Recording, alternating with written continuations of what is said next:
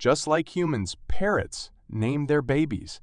And not only do they call each other by their names, they also use them to identify and refer to themselves. How clever!